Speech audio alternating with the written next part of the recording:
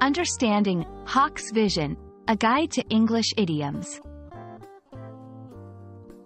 Hello everyone, and welcome to our English language learning series.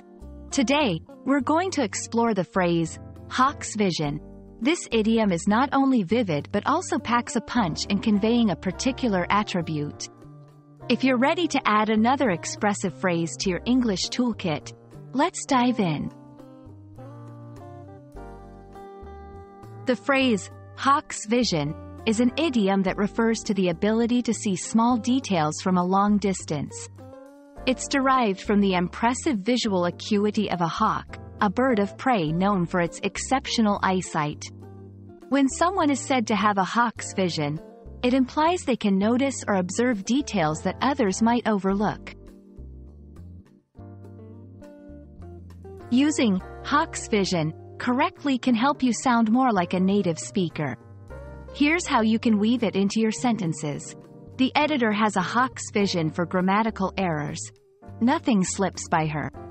You need a hawk's vision if you're going to find the differences in these two pictures. Notice how in both examples, the phrase is used to highlight keen observation skills.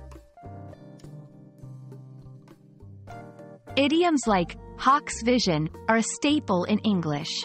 They make the language richer and more colorful. By mastering idioms, you can convey complex ideas succinctly and with flair. Remember, idioms often cannot be translated word for word into other languages, which is why they are such an important part of learning English.